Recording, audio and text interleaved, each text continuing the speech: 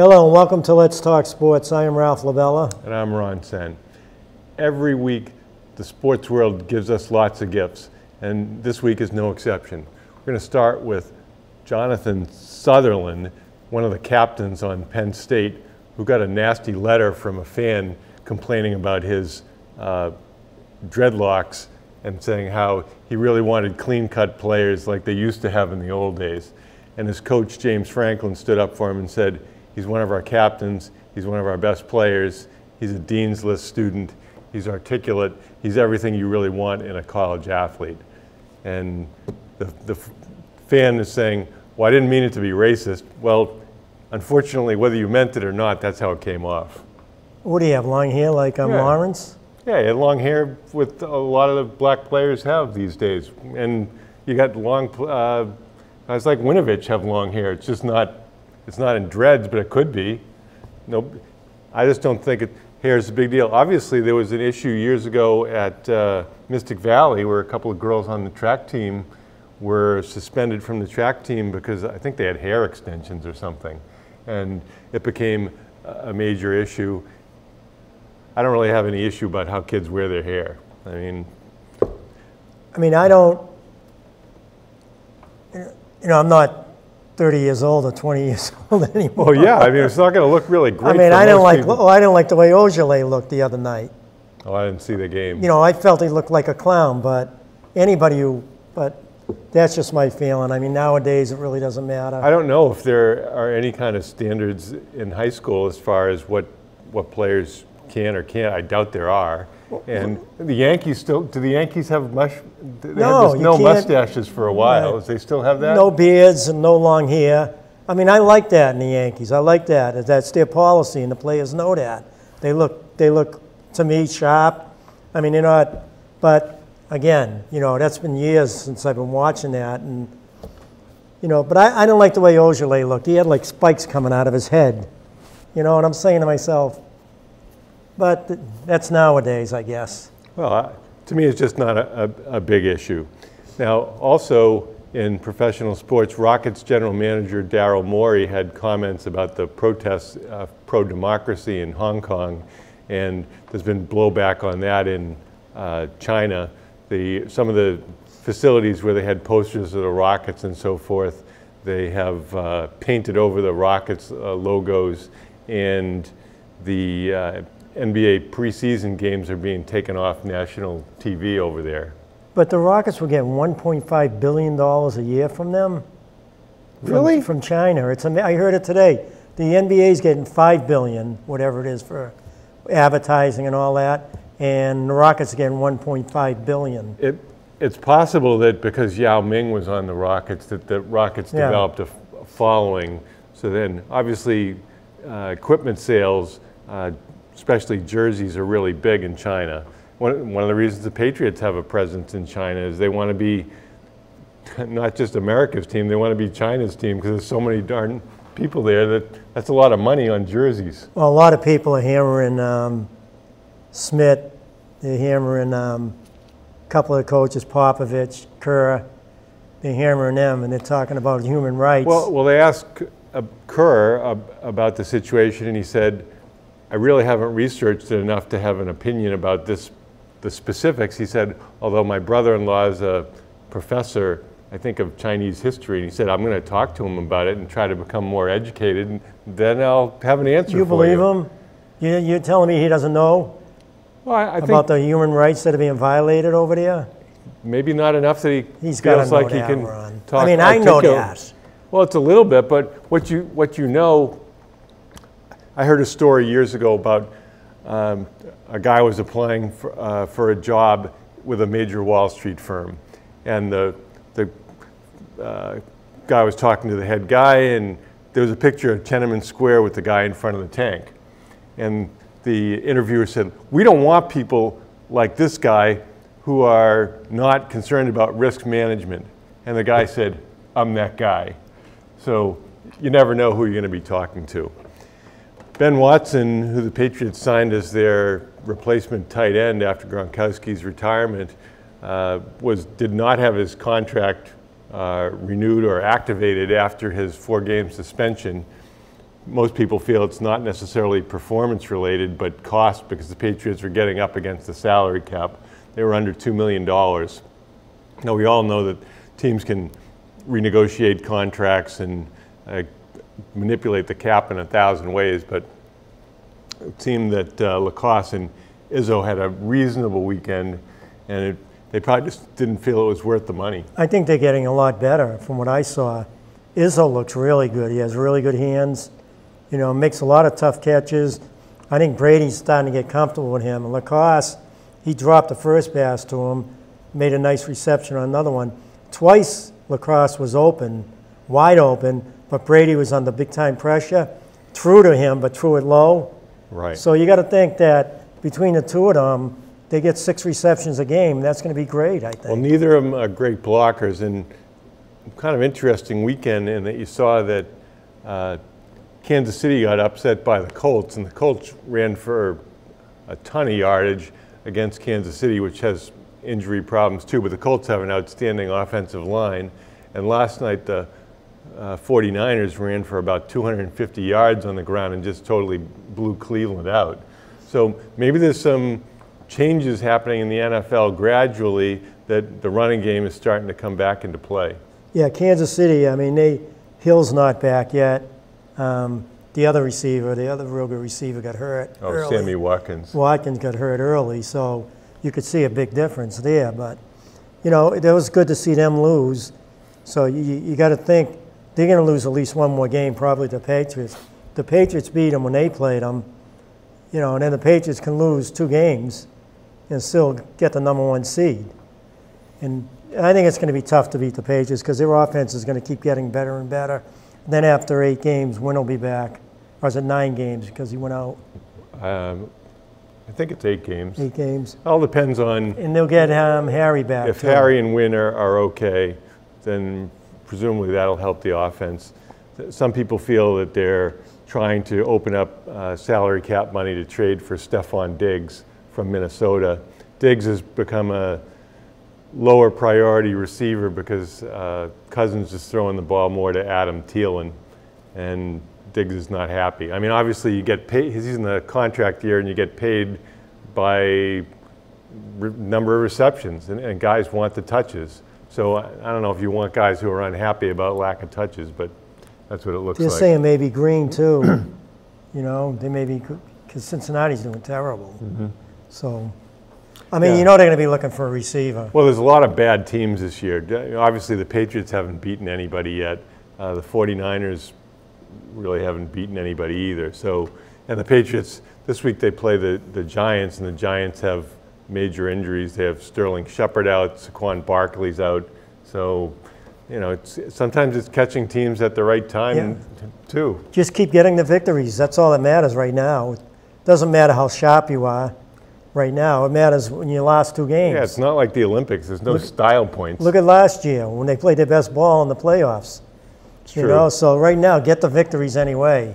And speaking of tight ends, Rob Gronkowski signed a deal uh, with Fox Sports to become an analyst, and he'll be in Foxborough on Thursday as the comment, one of the commentators with the Patriots against the Giants. So a lot of people think of Gronk as this clown, but he's not. He maybe he can be a clown when he wants to be, but he's a football savant, and he, he had a lot of his success not only because of his athletic ability, but because of his football smarts.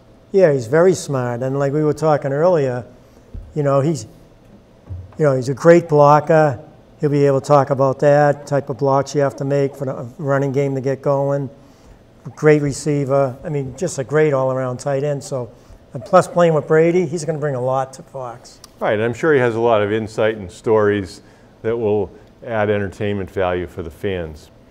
Uh, there was a survey of NFL executives asking if you, had, at this point, if you had to win one game, who, which quarterback would you want? And not surprisingly, of the 25 executives, 14 picked Brady. Uh, the second was uh, Mahomes, and with uh, so it's seven for home, Mahomes, and two pick Russell Wilson. Wilson's looked really good this year. Seattle's four and one. Throwing 72%, he's completing 72% of his passes. Wow. So I mean, you have some. Of the two, two requirements for NFL quarterbacks are decision making and accuracy. Like last night, Garoppolo got away with a couple he threw into traffic that just got knocked down or not intercepted. But How'd he uh, look? he, he managed the game. For the most part, he, um, he was pretty accurate and he didn't have to carry the team. He, ma- he made a really great uh, pass to George Kittle, the tight end. T- Kittle's a really terrific receiver and also uh, managed to fight for some tough yards. So I was really impressed by his game last night. Kind of interesting, uh, Mookie Betts is no longer on the season ticket page of the Boston Red Sox.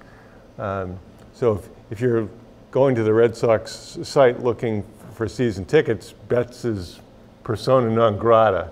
So I don't know if, if they're figuring that he's going to be traded or now, some, some people think that they'll get more from him if they wait till the trade de- deadline when somebody's desperate. rather When is than- that? Oh, you know, I think it's at the end of June. Oh, next year? Yeah. So, No, I don't know. no, because they're only going to have the guy, him for half a year. right. No, I, I say right now do it. You, you give him that offer, he says, no, I'm gonna, I want to be, become a free agent.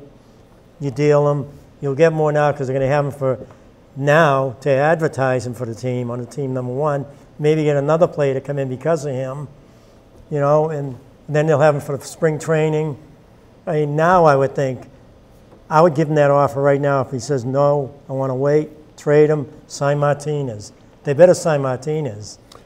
Well, if they lose both of them, well, it- appears that the, the Red Sox' first priority is to get under the luxury tax threshold of $208 million, which is still a lot of money. And obviously, there are plenty of other teams that have lower payrolls that make the playoffs. Uh, Tampa's hanging on. We'll, we'll see if they can uh, advance or not against Houston. Oh, I'm hoping they do. no kidding. I'm hoping at least beat them today, tonight, then go back for the fifth game. I know somebody from Minnesota, and he, he's so frustrated because he says that the Twins just absolutely cannot beat the Yankees. You see the plays, did you watch the game? No, I didn't see Oh, what game. plays they made. Torres, second, made an unbelievable play, playing deep in right field on a smash right by the first baseman, went over, slid, made the play, threw him out. And then Judge made an unbelievable play. Key situation, the Yanks were up 2 nothing, and they had a man on second, hit a shot to right center, and Judge just went back, kind of like Mookie Betts, and he just went as high as he could, and he snagged the, the ball. Well, I mean, he's really. I mean, the Yankees and Houston were the best two teams in the American League, so they, they would be expected to be into the finals. Um, uh, Kyrie Irving was interviewed before the season and sort of apologized, saying that he lost his intensity and concentration after the death of his grandfather and let the Celtics down with a lack of leadership. You know, it's not easy for him to say that, and you know, people, athletes are affected by personal issues as well in, in their relationships and in their the rest of their lives. So I don't think it should come as any shock that Irving would, could be affected too.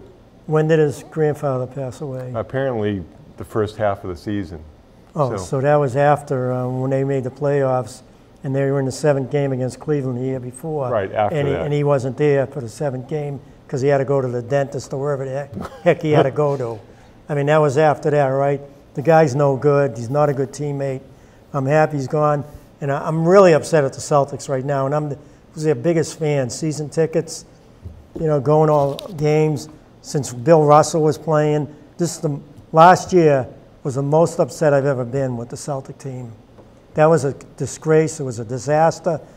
From I'm not going to even include the, Danny Ainge or the owners. I'm going to start with Stevens. Stevens was a disaster coaching. He didn't control anyone on that team, and it goes right down the whole lineup. They were all a disaster. And Right. right now, Ron, it's, it's unbelievable. I can't get into them. Every year I look forward for the Celtics to come. Well, I think as we as we've talked about before, the NBA is a league of stars. The Celtics had unexpected success with uh, Tatum, Brown, and Rozier in the playoffs the year before. They got big heads. They had high expectations about minutes and roles. And then when Hayward and Irving um, came back, some of the younger players felt uh, disenfranchised, but they didn't. It wasn't like they were carrying the team. Tatum wasn't great last year. Brown made progress, but he's not an all-star. And Rozier's been dealt off to uh, Charlotte. So we'll see whether a fresh start with some new faces, you know, like like Kanter and Kemba Walker, will make a difference. But you know, we're, we're just not into basketball season quite yet.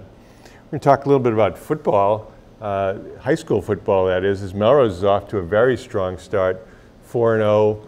What was the final score in this? 28 21. They beat Stoneham, the defending Division Six uh, championship uh, champions, and outstanding football game uh, at home. And Melrose has to be feeling good about themselves. They're, they're ranked second in the MIAA uh, Division Four ratings, power ratings, and so far so good. Number nine in the state, right? Nine or 11, I'm not sure. That I don't know. Ventura's um, had the ratings, and I think, ni- I'm not sure, but they're either ninth or 11th. I mean, they got a real good team. I mean, I don't think they're going to lose a game going into the playoffs. Yeah, I mean, the, the line play's been excellent. They have some very solid skill players. Uh, Sean Herbert had a fumble recovery for a long uh, uh, gain, and uh, Chris Cus- Cusilito, who's a defensive back and running back, also he, he scored the winning touchdown. We knew he was going to be good when he was a freshman, wasn't he, playing quarterback when he was a freshman? Right. And uh, Brendan F- uh, Fennell has been really solid at quarterback. So th- it wasn't an easy game at all. Stoneham has a kind of an idiosyncratic offense. They have double tight end, really narrow line spacing, uh, and then they have uh, twin wing backs, and they, they have a lot of plays that they run out of that system. And when Melrose played their traditional Oklahoma 4-4 defense, they just had too many blockers to, to handle the, the uh, uh, Melrose uh, defensive scheme. So they, they eventually changed to a a 5-3 and mixed it up, and finally they were able to get some stops. Give, give Stoneham all the credit in the world. They, they did a lot of good things in that football game. They had a lot of those good, those players back from last year too, didn't they? That running Right. attack. Well, they, they don't have, uh, I think his name was Argyropoulos, who was terrific, but they, they still had a lot of talented players. They run a lot of misdirection plays where they'll pitch to, to one of the wing backs, and then he'll hand off back in the other direction to the other running back. So it was a fun game to watch, and uh, a lot of credit goes to, to Coach Morris and his staff. They, they've really had an Did you go to incredible run. game? No, I saw it on tape. So overall, really outstanding effort. Um, the uh, they really don't they don't really have a weakness. They special teams were good. They, they, whoever was kicking off, I'm not sure, was was getting it inside the 10 yard line. Uh, one characteristic of Coach Moe's teams is they, they don't turn the ball over very much, and they, they were able to force a couple of key turnovers uh, by Stoneham. So that was a key. And they don't take a lot of stupid penalties. They, they have two more games before the playoffs. Uh, think it's three. Three more. Right. So they- they'll definitely be in the, in the playoff hunt, and, you know, hopefully they'll have a deep run, as they have, uh, you know, That's a heck of a almost program. every year. What a program over the last 10 years. Right, it's, it's been really fantastic. I wanted to give a little story. I had a discussion with a coach recently about uh, uh, the game was totally out of control. His team was losing 62 to 7 and against a, a prep school team that had three, six, seven guys uh, playing for him. And he went over to the other coach and said, You thinking about putting any subs in? And the coach said, No, I don't think so. The kids like, like it this way. So I heard another story. A coach said in that situation, all he did was after the other team scored, he, took, had his kids take the ball out of bounds and just throw it to the other team. And he yelled at the other coach, I'll stop doing it when, you get, when you're satisfied that you're winning by enough. Where was this game? This was up in uh, uh, Maine. So, you know, fortunately, we haven't been on the losing side of those too often, but it's kind of sad when people feel compelled to run up the score in, in obvious blowout situations. I mean, I've been part of that both ways. I've had teams that have blown out other teams, and you, of course you put the subs in, the people, players that don't play as much, and um, you don't press anymore. You don't fast break when you're up so many points. But I've never got upset about a team that's beat my team big. No, I and really- they keep pressing. Right, I don't have any problems. If, if somebody's beating us that badly with the press, we obviously need practice against the press. So it's our job to not get blown out. It's not their job to, to uh, feel sorry for us. You know my biggest problem with basketball, with youth sports, any with youth basketball. My biggest problem, my, you know, I really have a beef with um, these teams playing zones in youth sports. I mean, youth basketball. That's a complete disgrace, and I can't believe the higher ups. One league did it. Um, Winchester in a tournament when I was coaching years ago. In their tournament, youth basketball, you couldn't have no zones at all. But the, any youth sports they should do to at basketball. We'll talk more about youth sports. We'll be right back.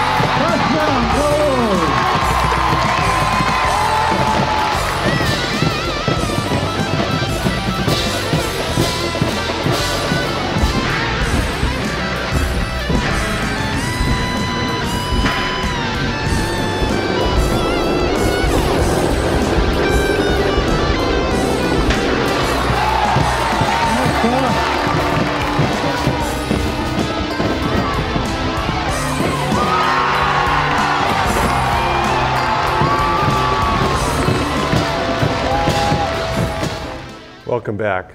Melrose Volleyball continues to uh, have a strong season. They're 10 and 2 at this point. They lost a tough one, 3 to 1, over at Winchester the other day. Winchester's undefeated. Um, Winchester's really become a powerhouse in the Middlesex League. And what's interesting about the Middlesex League is in non-league games this year, Middlesex League teams are 16 and 5. Winchester beat Barnstable. Um, I think Reading beat Andover, I think. So Yeah, they the- right. So the the strength throughout the league is really improved dramatically. So that's should bode well for Melrose in the playoffs. Melrose's other losses to Burlington, and they'll get a chance to face them again uh, in a couple of weeks at home. So another strong uh, season for a very ex- experienced team uh, on the volleyball side. And it looks like uh, the cross-country teams have been doing really well. I see that field hockey's won a few games, and soccer's won a few games, so Well, the Looks like- boys are 500 now, aren't they, in soccer? yeah, I think so. So it looks like the fall sports teams are, are coming along. And uh, I mean, it's hard to be strong in everything. So overall, uh, the athletes' parents and the athletic department should feel pretty good about how things are going. What was the problem, though, when the um, Winchester game for Melrose? You went to it, right? Yeah, I went to the game. Uh, Winchester just made more plays than Melrose did. Uh, But why didn't Melrose make more plays than Winchester? What was the problem? I don't With know. all the talent they have. Mel- Melrose was Melrose got uh, beaten badly in the first set. They lost 25-10. They came back strong to, to win the second 25-17. The third set, Melrose got off to a bad start and lost 25-20. And they got off to a bad start in the fourth set and were trailing 19 to 13, and they got even at uh, 24. But Winchester had uh, a, a really dominant setter, a girl named Dasha Smolina, who was a terrific player, terrific setter, terrific passer, terrific. She could hit the ball, and she had a lot of skill. Winchester must have scored 25 points on little dinks into the middle. Melrose just couldn't defend that. So, and uh, also Winchester scored a lot of points out of hit attacks out of the middle. So. Um, mostly Melrose will double block the outside hitters and single block the middle. You know, I- if they were going to play them again, I, I think they might consider double blocking the middle some, but it's not something you can just do on the fly. You have to practice it. Well, Winchester's Division One now, right? Right, Winchester's So Melrose won't One. face them in a tournament. No, they won't have them. The, the undefeated team in Division uh, Two North is Lynnfield. Lynnfield's uh, won the Division Two North uh, title last year, and they're strong again this year. So it looks like it'll be Melrose, Lynnfield, Burlington. I would say so. Last year it was Lynnfield and Burlington in the final. So it's, uh, as they say in uh, Casablanca, the usual suspects that are back every year. Interesting uh, legal development in college sports, the California Fair Pay, Play, Pay to Play Act, so that player likenesses um, the players could be reimbursed. Now, if you're the wrestler or golfer or relief pitcher, you're not getting anything. There's going to be a select few star players, probably in football and basketball. They're going to make a little money, but not probably very big money. I don't think that's going to work. It's going to be in three or four years, it's saying anyway. How about an offensive line, the offensive linemen that are killing themselves, you know, making holes for the running backs, you know, to make them look good, and the running back's going to be getting big money and they're getting nothing at all. I mean, how's that going to work? I don't. I can't believe the coaches are going to go along with that. Well, I think there's, there's some feeling that college athletes in selected sports like baseball or um, golf already can participate and earn and have earnings. So it's, it's making it fair for athletes in other sports. And if you're a cello player in college, you can give cello concerts and get paid.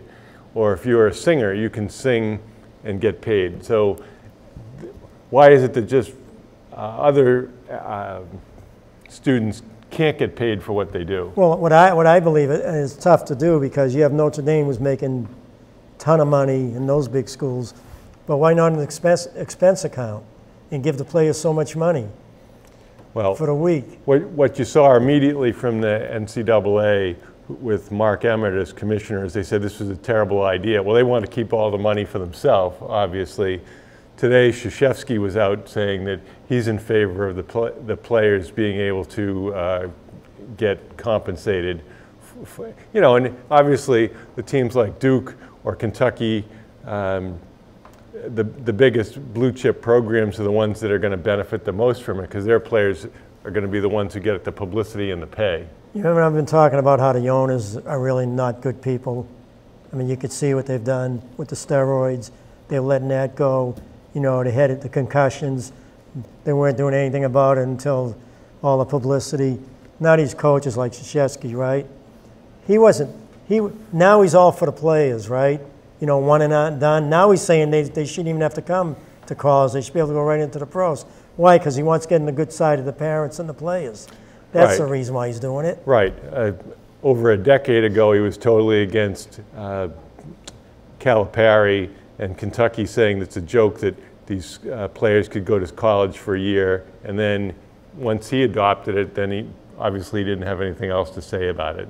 No, it's not so easy because you still have to attract the players and you have to have uh, success. Now, I know that the Kentucky players have made hundreds of millions of dollars by doing, going the one and done route. So Calipari, it's easy for him to go and say, look at uh, Anthony Davis or whomever has, has made big money. So if you come to Kentucky for a year, your, your child have a chance to sign a big contract and that'll be good for your family. Well, can't argue with that. You know what else really bothers me a lot? You know about these parents that have paid money for to Oh, get their sure. kids into these colleges, different, you know, Southern Cal and whatever. Or um, you look at that, right? And they're being prosecuted, and you look at these politicians in Washington who do favors for these schools so their kids can get into the school, you know, and they do a ton of favors. And you look at that, they're worse than these parents that are paying money. Well, And these Uh, parents are going to jail now, and- and I'm against that, right? I mean, it's wrong. Well, I think if you- But look, how about the politicians, Well, I think th- what, the problem wasn't that you were giving money, because people have always been, able, been giving money. And so if you give a million dollars for some building or project statue of yourself, then uh, your kid will get preference. The problem was some of these kids were being recruited as athletes, and the, on, the only time they'd ever seen the sport was, you know, they had their, their, their face photoshopped on somebody else's body or something. But what the politicians are doing, uh, it's way worse than what these, these parents, it's bad. They should be prosecuted, and whatever they get, they get. Or if they change the kids' S- SAT But the scores. politicians, no one's saying anything about them. It's unbelievable what they're doing. This kid's in Yale, right? His grades were like, a, I guess one kid had like a, a B average through high school, and he's going to Yale. I mean, it's Well, ridiculous. I think it was in uh, the book Animal Farm that there's a quote that all animals are created equal, but some are more equal than others. And, uh, you know, we know that uh, Jared Kushner's family paid two and a half million dollars for him to go to Harvard. So, you know, that's, if you have the money and you can buy something, if you're rich enough, then Well, there it, yeah, there it yeah. There right it is. So not much you can do about that. Uh, Pro Football Focus picked their quarter season All-Pro team, which I'm not sure what, exactly why that's necessary, but two Patriots were on that, uh, Jamie Collins and Devin McCourty. So McCourty's leading the league in uh, interceptions with four, and Collins has three. I mean, obviously they've been playing nobody, but Well, Jason kept the streak going for the McCourties, right? Right. So, um, you know, the Patriots are setting all kinds of records that haven't been seen for 30 years defensively as far as points per game, and they haven't given up a passing touchdown yet this season. But of course, the, the teams they're playing haven't been, been very good, and it looks like the Giants, absent their key players, should be another win for them this week. Who've been the top three players on the Patriots so far? Well, I think Hightower, when he's when he's been healthy, is I mean he was This pheno- yeah phenomenal. He's he's been terrific. Um, I think that in the uh, Gilmore hasn't been quite as good as he, he was previously. He had a but bad game yeah. the last two but he, games. but he's st- he's still very good, and uh, Van Noy has been exceptional at linebacker. So to me, those three. The guy that doesn't get noticed, who's really good every game, is Guy. He he just plugs up the the, whole middle. defense is playing great. Right. Offensively, I wouldn't say that much has been great. Edelman's been been very solid. Um, you know, the offensive line shaky. Uh, we know that Gostkowski's supposed to have hip surgery. I don't know if he has a labrum tear or what he has, but then they brought in Nugent and he wasn't any, any great shakes. Misses the first extra point, and he gets bangs one in off the post later. Um, so we'll see. See, I'd go, I'd go Brady. Num- people think I'm crazy. I'd go Brady number one. He's been the best player. Hightower number two, and Collins number three. The reason why I say Brady number one, even though the schedule's been easy, he was thrown 67%. He was completing 67% of his passes before the Buffalo game. completed 67% of his passes Sunday. So you take that one game out, that was a terrible game all around for the whole team. And he's a quarterback. I mean, you have a quarterback who's completing 67% of his passes. Right now, he has 10 touchdowns, two interceptions. Should be better there. But you're talking about a quarterback compared to a defensive player who just, I mean, it's a whole different story, you know, the mental part of the game and everything. So that's why I Well, the, say Brady. the, the argument is about who's been their, their top rookie, and probably it's been Bailey. I mean, he's, he's really been effective. I think. How about the kickoffs? Yeah, I mean. Every one of his kickoffs Sunday, I think he had seven or eight kickoffs, none of them were returned. Yeah, he, I mean, he, he's a weapon, no, no question about it. And he, he seems to be able to directionally punt. He's, And he's put, yeah, right out of bounds. you know, Perfect. You know, and you know, especially um, near the end of the half, Belichick says, "I don't want a guy running back a punt for a touchdown. Just kick it out of bounds, you know, down the field." So um, can't can't fault him for that. And last year at Stanford, he only had two kickoffs that were returned the whole So- season. That's out of Right. 13 games. Right. Just so, two. So when people said, "Well, they spent a fifth-round draft choice on a punter," why did they do that? Because that's the reason why they did that. And because field position is really important, especially if you have a, a solid defense. Yeah, with that defense, they're playing unreal. And, uh, you know, we'll see. I think Winovich is, he must have had at least two sacks this year. And, I think he has four now. okay. He had one last game, too. He, he has, he plays with a really low pad level, so he seems to be able to get underneath uh, people on the, from the outside. But they got to do schemes with him, too. All of his rushes are from the outside, and he tries to beat him. Let him come inside at times. With his quickness, those, line, those offensive linemen won't be able to adjust quick enough. I'd say if we looked at the, a lot of people argue that the Patriots are in the weakest division in the NFL every year, and you know, it's hard to argue that this year especially. But as far as the strongest, I think the uh, NFC West is really strong right now with San Francisco, Seattle's four and one, the, the Rams are three and two, and Arizona I think is one three and one. But I think they've they've played a little bit better than that. Kyler Murray you know, has pretty good prospects to help make them better this year. Hey, just get that number one seed. Right now, it's looking great because Kansas City has a couple of tough games coming up. They lose one more game, Patriots win their next three, you know, and then they have that home game against Kansas City. You win that one, you got the number one seed wrapped up. They'll have Buffalo at home. Buffalo's four and one, but you got to figure they're not going. With their offense, they're going to lose games. Yeah, Buffalo, the, Josh Allen is just a turnover machine. The, the Patriots proved that against them. Now, if Buffalo changes their scheme, maybe trying to get shorter passes, throw more to the backs, throw underneath. I mean, Allen just keeps trying to force the ball down the field, and he's not that accurate. Hasn't made a lot of good decisions. Or, or maybe they could, uh, you know, what if they traded for somebody like Eli Manning? I mean, Eli Manning as a game manager might be able to do something Yeah, but you won't. They won't. Buffalo? Yeah. No, they won't. They won't go for him. No, they're probably committed to- to. 38. I know. Well, you mean for the next two years? no, I'm just saying for this year. So, I mean, uh, obviously, the Giants have committed to Daniel Jones, and I mean, he's been good, but Manning won't go anywhere. Does he? Doesn't he have that no trade contract? I don't know. I don't think they can trade him. I think they. If I heard that right, they did. They were talking about it, and they said no, they can't. It was interesting. The first four weeks of the season, the Patriots only uh, used the two-back formation two plays, and uh, this this week they used it on 57% of the snaps. And uh, you know, I made a comment during the game uh, on Twitter to Greg Bedard of Boston Sports Journal that uh, Jakob Johnson was really good. I mean, he, he really had some great blocks, uh, wham blocks, and Michel had a very big uh, second half. I think he had 78 yards on 10 carries, something like that. So I'm not saying the guy's going to be an all-pro fullback, but he's he's stepped in capably last week, at least for Develin. Yeah, and White looked good. White looked good on a couple of runs. Right. You know, the funny thing is, White looked quicker, shiftier.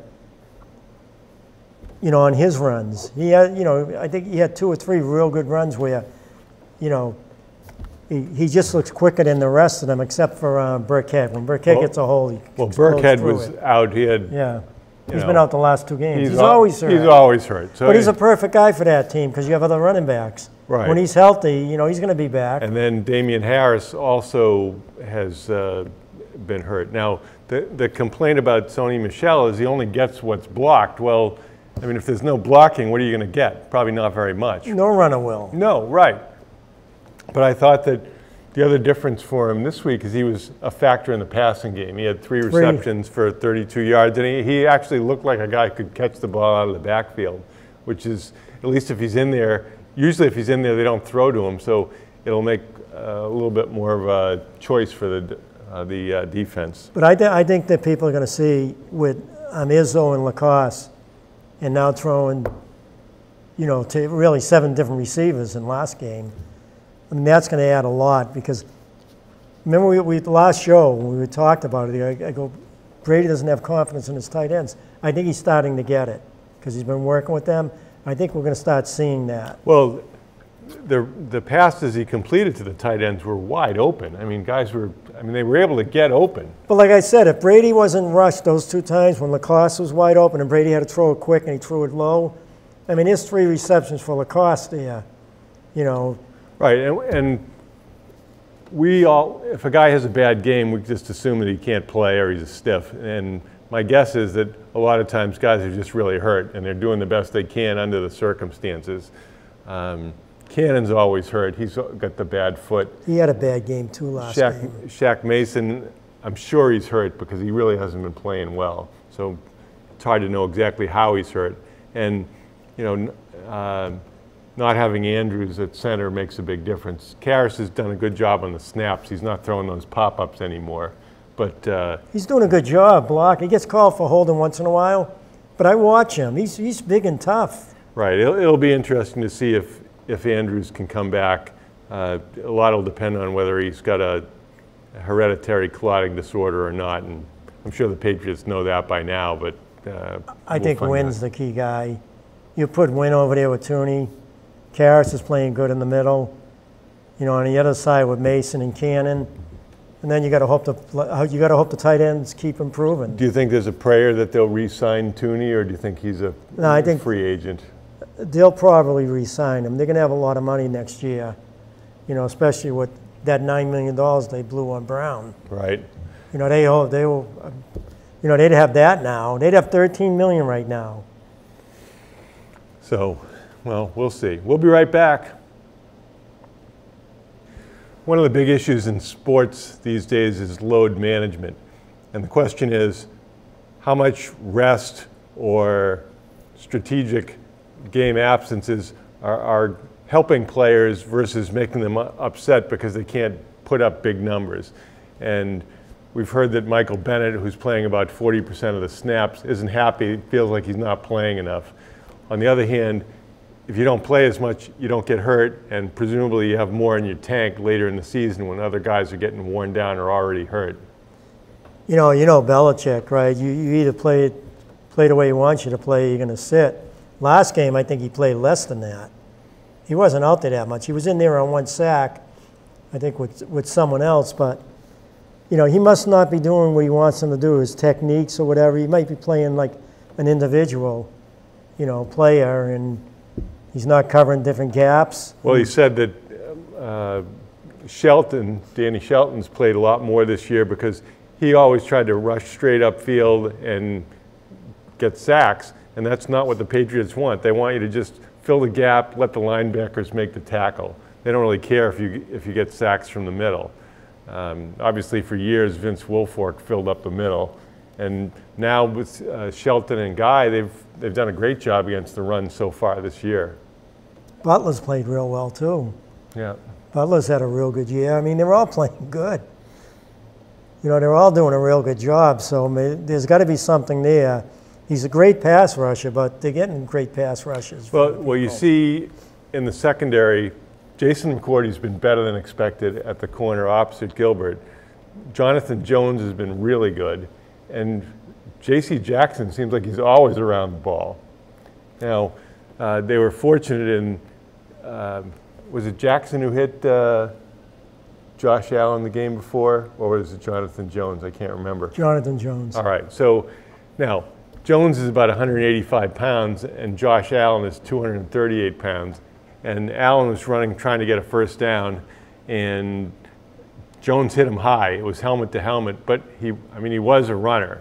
It So- shouldn't have been a penalty. Right. A lot of people have said that you can look at it two ways that Allen was lowering his head. He- Allen initiated the contact. You know, there was nothing, if you watched, Jones was trying to turn his helmet.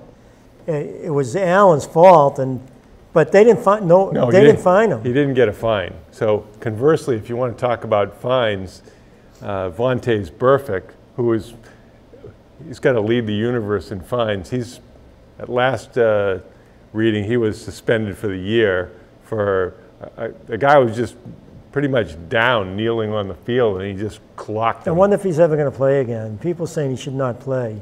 He's out there to hurt you. He's, you're right. He's only about 29 years old, but he's, he's taken so many bad hits through the years. I mean, you, you sort of have to wonder if the guy is mentally uh, right. I know. How about Oakland, though? They're three and two.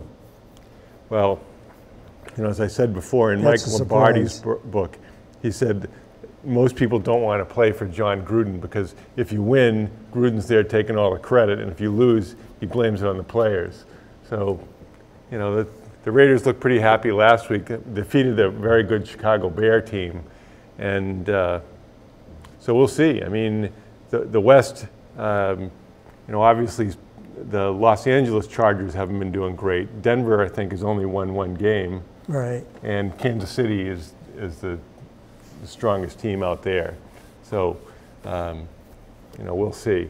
I mean, I, I'm not a huge Philip Rivers guy.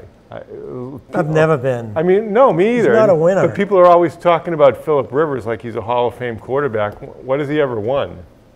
You know, even back when he had uh, those real good teams, he never came through in the big games. You know, I mean, hey, there's Brady and there's everyone else as far as I'm concerned. Well, it'll be interesting to see if Roethlisberger can come back uh, after. I mean, everybody said he's had Tommy John surgery. I don't know if he actually did, but uh, you know, it's a, it's a tough rehab, and at his age, you know, with the amount of money he's made, at some point, sometimes people say it's not really worth it.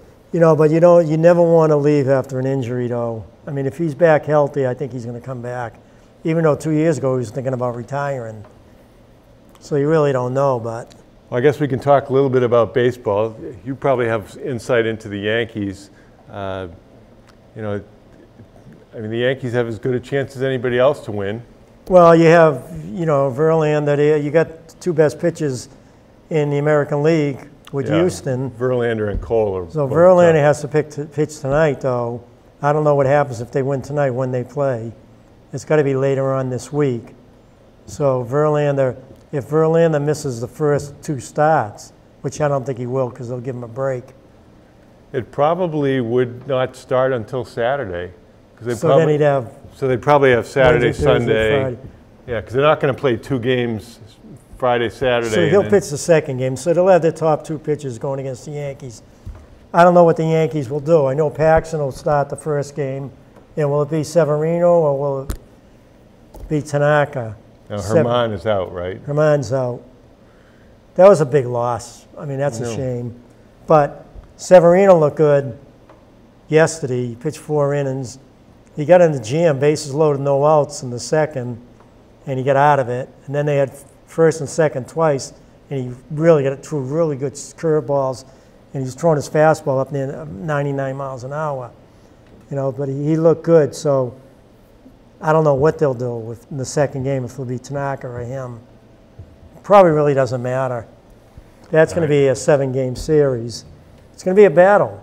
I mean, I'm looking at the Yankees lineup. It all comes down to are going to do the best they can. I mean, you got guys like Sanchez who could have a terrible series. You got Stanton who could have a terrible series. They both had terrible series last year. You know, you got them in the lineup instead of having Voit, you know, in there instead of Stanton who makes contact and who has power. And so, but they have a heck of a lineup. They they have um, two of their best hitters hitting eight and nine. Urshela's hitting nine. Well, they probably wish that they didn't have Stanton now. you know, I don't know if they have any, if he has any trade value or his salary's too high. That could be a disaster. I mean, is, is he gonna, is he gonna come up in key situations? He's batting fifth behind Encarnacion. You know, is he gonna come up in key situations and strike out and not hit the ball? You know, if he does that consistently against Houston, the the Yanks are gonna have a tough time. And if Sanchez strikes out a lot, I mean, those are the two keys because they're either gonna have, do nothing or maybe get a big, they they both have power. So they're gonna hit a home run in a key situation. My feeling with both of them is that they're gonna hurt them. You know, they're gonna really hurt them and then they're gonna, realize that Voit should have probably played. Yeah, it, the worst part about baseball this year is the games, if it's, if it's in New York or in, in October or Boston when the Red Sox are playing, it's, it's, who wants to be sitting in the stands when it's 45 degrees? I know. It's, it's, it's pretty tough. And it can't be any fun to be playing if it's 45. It's different if you're playing in Houston or Dodger Stadium, Remember when we were younger? The games were in the afternoon, right? The playoffs, the big Remember games. in The nine- World Series in games. 1967, in uh, sixth grade, they had the, literally, we're still in school, and they had the baseball game on the, the PA system in the school. Sounds crazy, but uh, anyway, again, that was another era. I don't think they No. do that anymore. When, when my kids were, when we lived in Washington, when the kids were little, they, you'd say the Pledge of Allegiance, and they'd sing "Hail to the Redskins" before school. So when you think about when you think about crazy, crazy fans, I think about Notre Dame, I think about the Redskins, um, Nebraska back in the day, not so much right now. But, you know, and around here, obviously, people make fun of the BC fans with their whale pants and everything. But uh, anyway, it's, uh, But the, the, the craziest game I've been to, well, I was there when Havlicek stole the ball. right. I was at that game, and that was nuts. But the noise factor when the Celtics beat the Lakers at home in the seventh game back in the 80s, it was unbelievable. We're sitting in the stadium seats.